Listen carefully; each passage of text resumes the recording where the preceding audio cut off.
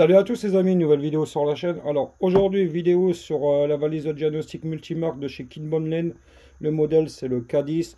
On est sur une valise de diagnostic de gamme professionnelle. Alors première partie de la vidéo, je vous montre un peu tout ce qu'il y a dedans. Euh, je vous parle un peu de la tablette de diagnostic. Et ensuite euh, on ira faire un diagnostic dans la voiture avec la valise de diagnostic K10. Bon, pour commencer, la valise de diagnostic est livrée dans sa mallette de transport, euh, mallette de rangement.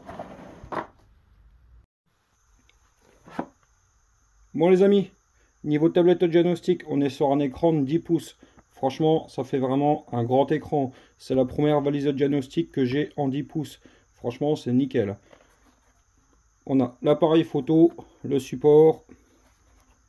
Ici, on a un port USB type C pour tout ce qui est niveau rechargement euh, ou pour la connecter sur un PC par exemple.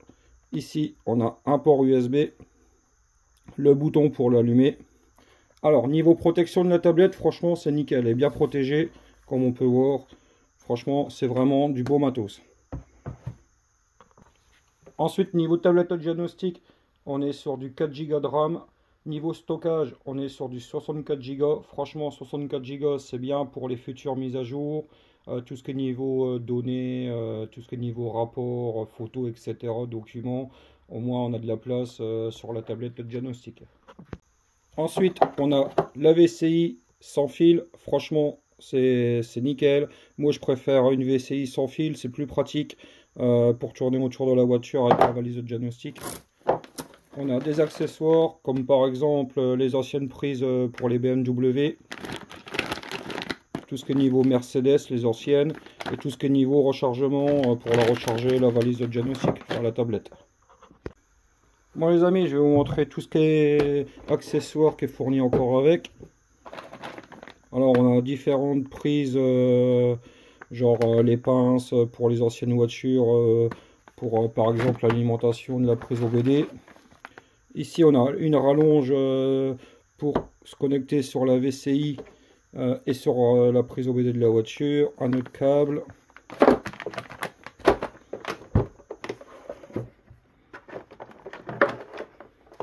Tout ce qui est niveau manuel. Tout ce qui est niveau accessoire qui est fourni avec, avec la valise de diagnostic. Tout ce qui est niveau prise pour les anciennes voitures. Qu'est-ce qui est bien? On a les anciennes prises OBD euh, pour différentes marques euh, de voitures qui sont fournies avec. Pareil, l'adaptateur euh, pour brancher sur les anciennes prises OBD. Le câble USB vers USB-C pour tout ce qui est niveau rechargement de la tablette de diagnostic. Ensuite les amis, je vais vous parler tout ce qui est niveau de mise à jour. Alors, les mises à jour sont gratuites pendant deux ans. Ensuite, si vous voulez les nouvelles mises à jour, faut payer. Euh, là, j'ai des mises à jour à faire. On va les faire tout de suite. Vous avez vu, franchement, ça va vraiment très vite. Voilà, c'est installé.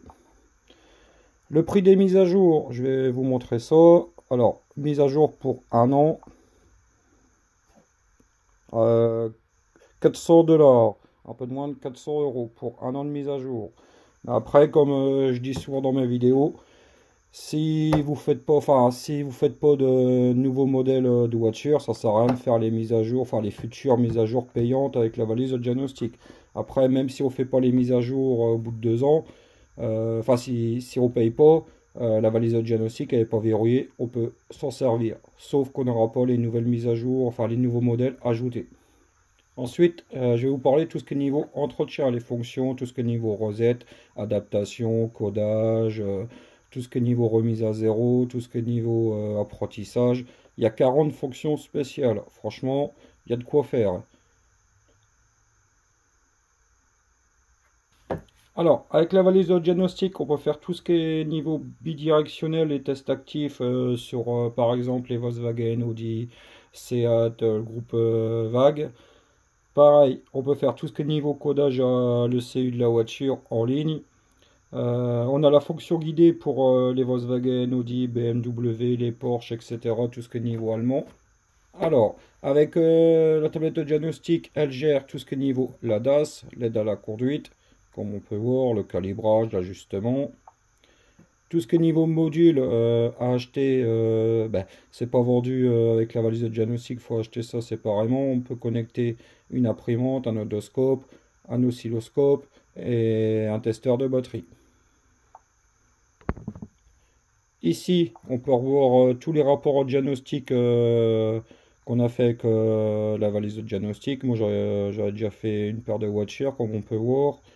Au niveau rapport au diagnostic, je vais vous montrer.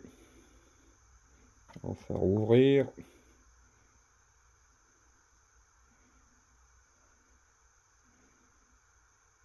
Pareil, tout ce qui est rapport au diagnostic, on peut les envoyer euh, par mail ou les partager via en Bluetooth. Bon les amis, on va aller faire un diagnostic avec la valise de diagnostic K10 dans la voiture. Bon les amis, on est dans la voiture. Alors, la vessie est bien connectée sur la prise au OBD de la voiture, tablette de diagnostic, et le contact, il est mis. Bon les amis, on va lancer un diagnostic. Alors, soit le diagnostic, on choisit la marque et, et ça va vous trouver la voiture, ou alors vous allez rentrer tout en manuel. Alors, euh, les marques, euh, tout est classé par euh, continent, les modèles américains, tout ce qui est européen, Asie, et les modèles chinois. Alors, moi, je vais faire un diagnostic intelligent.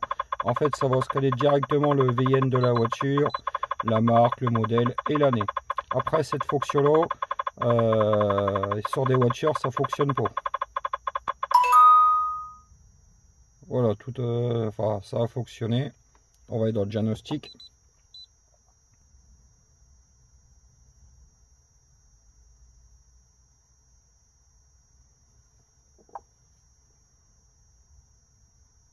Alors, sous cette valise de diagnostic, qu'est-ce qui est bien? On a la topologie du système. On a liste euh, des systèmes. Genre, si on veut directement aller dans le calculateur moteur, vous faites entrer à partir d'ici. Les fonctions spéciales communes. Moi, pour la vidéo, je vais faire un scan euh, complet euh, de tous les calculateurs et modules présents sur la voiture. Alors, ça prend un peu de temps, c'est normal. Euh, je vais mettre sur pause et je vous reprends dès que c'est fini. Bon voilà les amis, le scan est fini. Alors ça a mis à peu près moins de 5 minutes.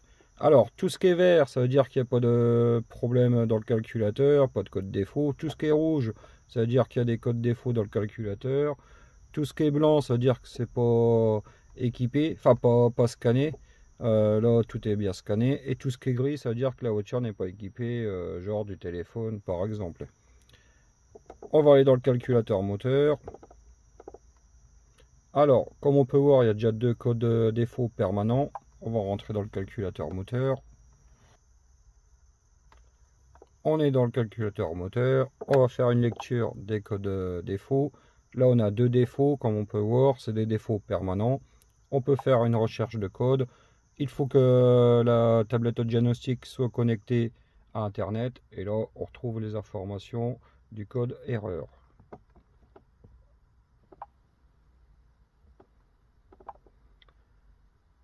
On va faire un effacement des défauts. faut taper le kilométrage de la voiture.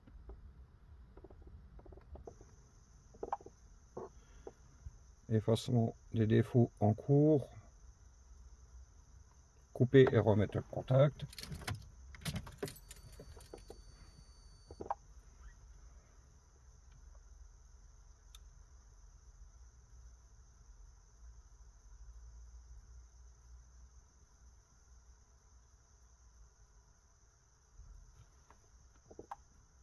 On va faire une lecture. On n'a plus qu'un défaut. Euh, on en avait deux, mais bon, c'est des défauts permanents. Tant que la panne n'est pas réparée, ça reviendra toujours. Ensuite, on peut faire un test d'actionneur. Si on veut faire un test de relais, par exemple, on peut. Ensuite, euh, tout ce qui est donné, euh, des données en temps réel. Si on veut des informations sur le filtre à particules, on va tout sélectionner. Et là, on a tous euh, les infos du filtre à particules. Toutes les données en temps réel. On peut faire en graphique. Alors, qu'est-ce qui est bien sur cette valise de diagnostic? On peut en mettre 12 euh, sur le même écran. Franchement, c'est nickel.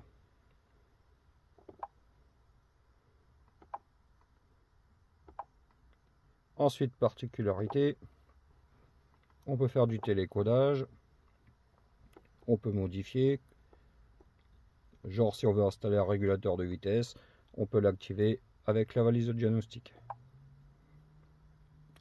Ensuite, réparation des paquets, intervention sur le filtre à particules, fonction spéciale, euh, régénération du filtre à particules, remplacement du filtre à particules et intervention pour remplir le réservoir, euh, tout ce qui est niveau remplacement du réservoir, euh, du filtre à particules.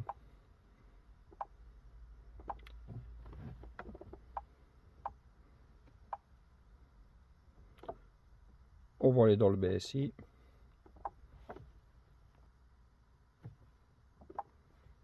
Alors là c'est pareil, euh, lecture des défauts, il y en a pas. Tout ce qui est test d'action, si on veut tester genre euh, des témoins au tableau de bord. affichage alerte température d'eau, si on veut le tester, on peut. Toutes les données en temps réel. Si on veut faire alimentation, principaux fournisseurs. Là, on a toutes les données pareilles. On va aller dans particularité. Là, tout ce qui est niveau télécodage, euh, le VIN, personnalisation client, calculateur présent, configuration de la voiture, tout ce qui est niveau entretien, tout ce qui est niveau apprentissage. Alors, on peut faire un apprentissage de nouvelles clés, par contre, c'est seulement sur quelques modèles. Euh, cette valise de diagnostic, euh, on peut pas tout faire, enfin on peut pas faire toutes les marques et tous les modèles. Ensuite, tout ce qui est maintenance, dans l'entretien, euh, recette de l'indicateur de maintenance, etc.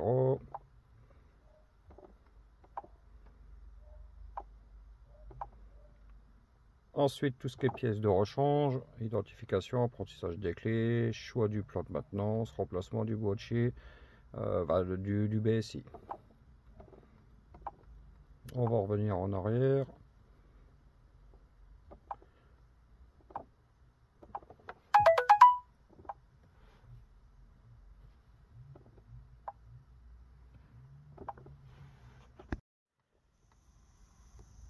Bon voilà les amis, je vous ai fait une petite démo euh, de la Kit Bonnen K10. Franchement une très bonne valise, bien complète.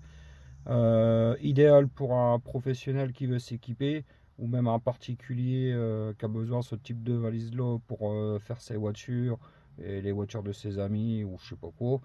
Il y en a largement assez. Alors je peux pas tout vous montrer en une seule vidéo.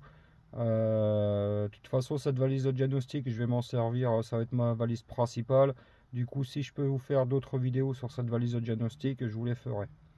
Euh, pareil, euh, comme d'habitude les amis, je vous mettrai le lien dans la description de la vidéo si ça vous intéresse, euh, si vous êtes intéressé par cette valise de diagnostic. Et pareil, il y aura un code promo. Voilà les amis, si vous avez aimé la vidéo, mettez un petit pouce. N'oubliez pas de vous abonner si ce n'est déjà pas fait. Et je vous dis à la prochaine pour de nouvelles vidéos.